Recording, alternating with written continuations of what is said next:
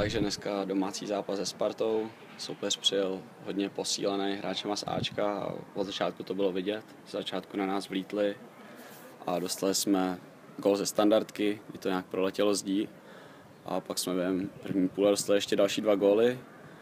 Myslím, že v druhé půli už jsme zlepšili rozehru, soupeř taky trochu polevil a trochu to prostřídal, takže už se to zlepšilo a dostávali jsme se nahoru a byli jsme na míči, líp jsme drželi balón z toho pramenil další gol, co jsme dali, jsme snížili na 4-1, myslím, že jsme ještě měli dvě šance, které se mohli dořešit. Mohl to být trochu lepší výsledek, ale soupeř tam měl taky nějaký šance, takže asi 4-1.